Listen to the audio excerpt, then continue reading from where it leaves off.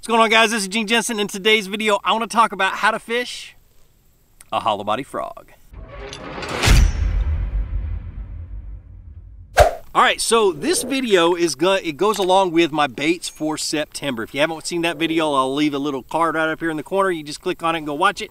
Um, it just talks about the different baits that I want to fish. I'll be fishing in September. But uh, this specific one is my favorite this time of the year. I'm absolutely, I'm actually sitting on Lake Guntersville right now. This is the southeastern mecca for frog fishing, but this isn't the only place you need to be fishing a frog. If you're up in Minnesota fishing around Leech Lake and any of those those lakes that have a whole lot of that that uh, that rice grass and that matted grass, throw a frog. If you're around any kind of cover, small ponds, I mean anything this time of the year except for a mud hole, throw a topwater frog. It's it's unreal. So let's dive into the details and how I rig it up and what rods and reels and things like that that I, that I use before we get out on the water and I'll show you how to use it. All right, so the types of frogs that I use, uh, let's go with the brands first. I love Spro frogs. Been fishing them for many, many years. I've got videos that have hundreds of thousands of views of me fishing a Spro frog. Love them. They're great. They need a little bit of modification. And what I'll do is I'll leave a link right up to the description of what I, or right up here, the little eye or whatever it's called. It's either here or here. I can't remember which one. Click on it. You can go watch the, the video on how I how I modify frogs or spro frogs to um, to work a little bit better. 13 fishing trash pandas. This has one, become one of my favorites. I'm very partial to this one. I had a little bit of input into it on on on the uh, on the design. Uh, there's not a whole lot you got to do right out of the package with this thing. Um, and it's great. And then I never can remember the name of this one from Strike King but it's uh, these things I know they're ugly ugly ugly. I mean they're as homely as they get but these things work great in the crap that's behind me mats and and and heavy vegetation. I don't know why. They're really really good. Don't pass these up because they're ugly. That's the biggest thing. So those are basically the three different types. Uh, there are three different brands and models that I use. I'll use a Booyah Pad Crash every once in a while, but they don't last very long. They're really, really soft, which helps with your hookup ratio, but they're only good for just, you know, 10, 15 to 10 to 15 fish. And that's it. Let's talk about the rods and the reels and the line. All right, so first of all, I use two different types of rods. Let me untangle the mess I've made.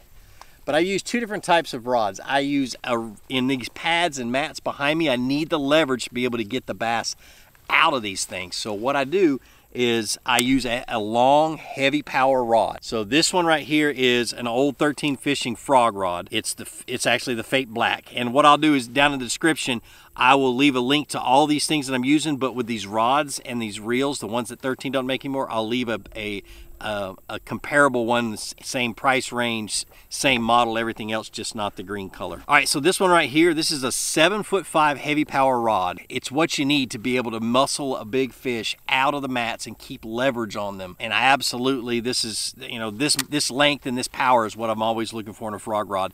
65 pound braid. I don't put anything else on this. This is actually Seaguar Smackdown. Um, it is 65 pound braid. It will rip through this grass really, really good on a hook set. And when the bass buries himself in the grass, you have enough power to be able to get that fish out and to muscle him out of that grass. Eight, one, eight three to one gear ratio reel. Um, and you got to have a high speed reel to be able to catch up with these fish a lot of times. You got to have a high speed reel to be able to reel it in real fast, get to the next cast and stuff like that. Just work more efficiently. Um, and then a lot of drag. You're going to crank your drag all the way down to as tight as you can get it and you're just gonna it's it's full combat fishing is what it is man. I absolutely love it. Now when I'm fishing open water or more open water that's just like scattered vegetation uh, pads a lot of times when I've got a lot of uh, a lot of open spots that I want to walk the frog in. That's when I switch to a short, heavy power rod. Uh, like I said, down in the description, I'll link to the shortest rod 13 makes. I'm sponsored by 13, so I'm going to do that. But go look for something less than seven feet long uh, that is in heavy power, uh, fast action rod. This right here is a six foot five that 13 used to make. Um, it was my my idea. They discontinued it after a couple of years because they, they just do that and it's all right. But it is my open water frog rod. And the reason for a short rod is I do a lot of walking. And it's so difficult to walk a little short frog with a long rod because you it's, it's just hard to move your hand and your wrist that little in order to get a good walk. So the shorter the rod, the easier to walk. And I'll explain that more when I get out on the water. The reel Again, eight. This is a eight three to one gear ratio, concept A. Beefy, beefy uh, drag, and I crank it all the way down. And then um, the braid is a 65 pound braid. This is their, uh, uh, what they call it, the basics. This is part of their basics line braid. Um, it's called uh, TactX braid. I why I always have a hard time remembering, but TactX braid, and it's inexpensive. It's only like 16 $17 a spool, and it is really, really good. It's just loud coming out of the guides. It's taking a little bit of getting used to. It's been really, really good. And what I love about it is because it is a little rough and a little bit, uh, you know, uh, it, it's not that smooth braid. It doesn't dig into itself on the spool very much. So you you set the hook on a fish or you jerk it out of something and it doesn't dig into the spool. So your next cast isn't a backlash. So that's what I love about it. But that's the setups that I use for frog fishing. Not much else. Um, if you're looking for comparable rods, you know, somewhere in the mid seven and a half foot range for a, for the the uh, the beef stick that you're going to fish this stuff with, and like I said, under seven feet for your short frog rod. All right, so modifications. I'm just gonna talk a little bit about them. I'm gonna leave a link up here to, to a, a video that I did about how I modify Spro frogs and other types of frogs and and just things that I look for. And it's a really good in-depth video. Talks about putting rattles in and all kinds of other stuff. So you're gonna wanna watch that. But modifications include bending hooks out, adding rattles, adding weight. When I'm fishing mats but like behind me, I like frogs that sink a little bit because I want them to push down on the mat as I'm working through it to, to give the bass a little bit more of an appealing target. That's when I use a heavier frog. Now there are some, like the Spro Frog tournament, you have to have a frog that floats or you can't be fishing subsurface. So if it sits on top of the grass, or the grass, you can fish it as long as you're not letting it sink down underneath there. But that's a whole different ballgame. Now this one right here, this is the 13 fishing pad or uh, trash panda. What I do, what, what I love about it is when, you know, when we were talking about the design and stuff like that and, and, and things like that, we took into account the modifications that are done all the time with these frogs.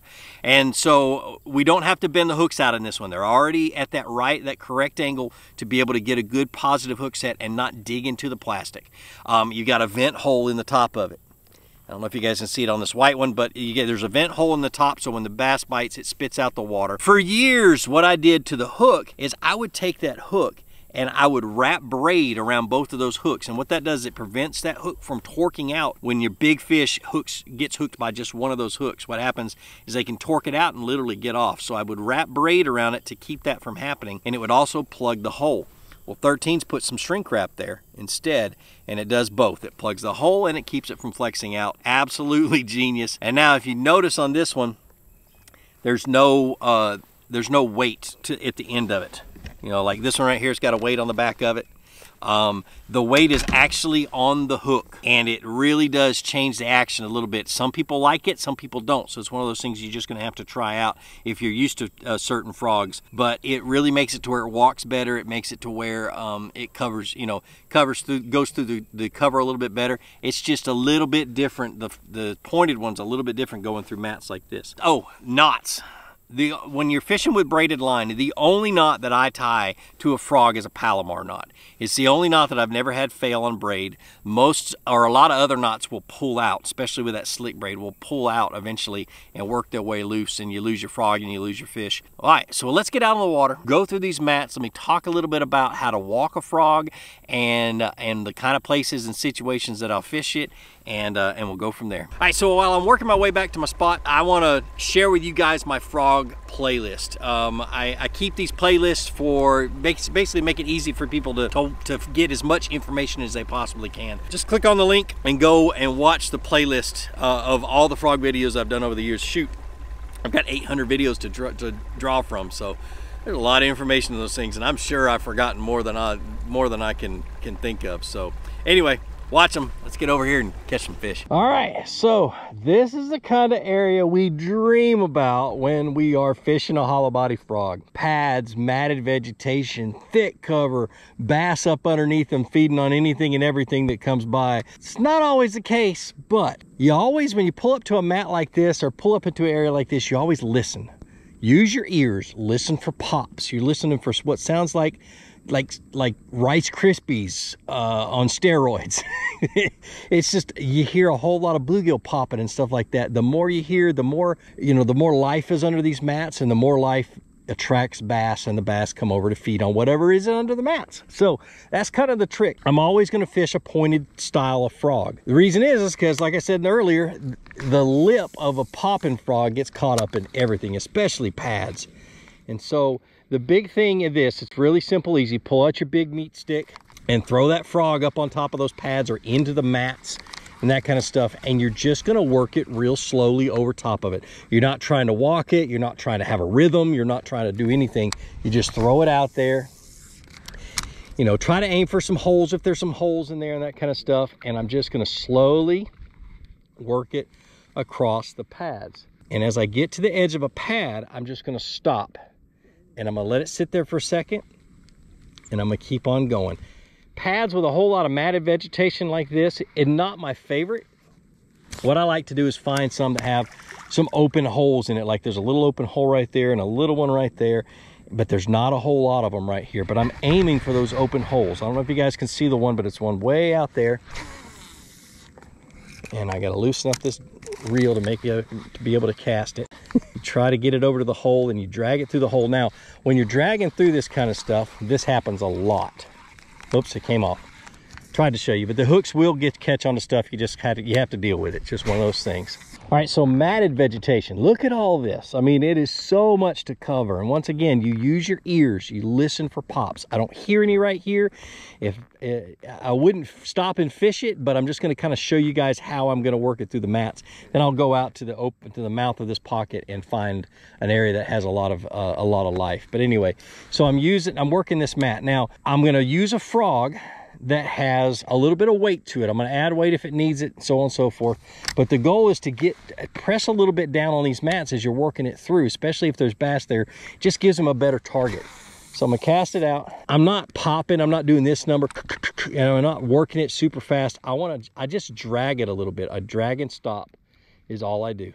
And you see, what? look at my rod, look at what I'm doing. I'm just dragging and stopping. And I may speed this up or slow this down or whatever else, but if I've got no holes to work in and I just want them to come up through those mats, I'm just gonna drag just like this. That's it, that's it for the mats. Now, when you get bit, whether, no matter what, but when you get bit, one of the hardest things to do is to wait you want to you see that big explosion come up out of those mats and you want to set the hook right away. So one of the tricks and the techniques that i use is i fish with my rod out of position to make a hook set. So i'm gonna throw it out and look at where my rod is. My rod is down and low and i'm working it through and i'm working it through and i get bit and the first thing i do is i bow to the fish and then i have to set the hook over my head okay? And so when i get bit it's like whoop one 1000 two 1000 and then i set the hook.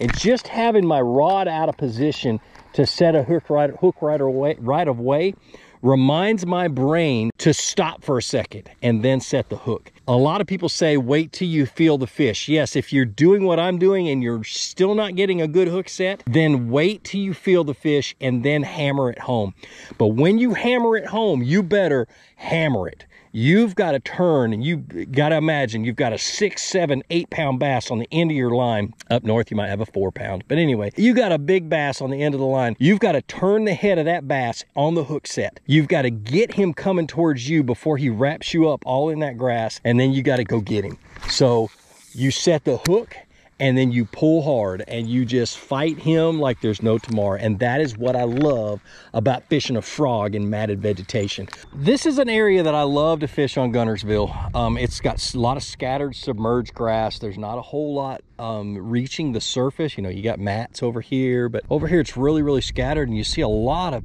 of fish ticking, a lot of bait fish in the area. It's kind of the areas I'm looking for. This technique or this way of fishing you can do around boat docks. Like I said, you can do around wood. You can do just, you can do anywhere else but there.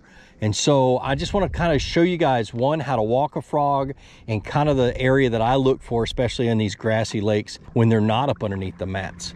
And so you see here, we got nice, good scattered vegetation. A lot of this is just subsurface. There's still a lot of grass here that you can't see, but you can get a bass to come out and hit a frog. And I do this by walking a frog. When walking a frog, this is a this is a very important technique because it does get a lot of trigger. It gets the, the bass to trigger really, really easy when they're feeding up.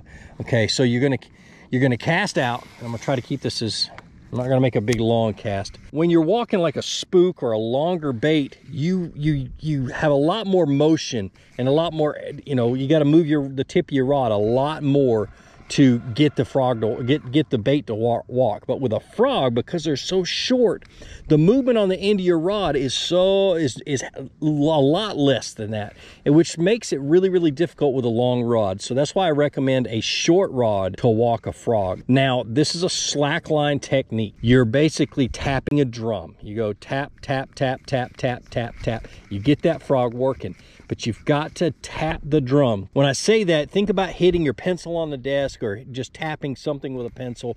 You don't hit it and leave your pencil on the desk or hit the drum with the drumstick and leave the drumstick on the drum. You tap it and bring it back. And that's basically what you're doing. You're, you're tapping the drum and you're throwing your line back at the bait to give it slack so it can turn and walk. And that's what I mean by walking.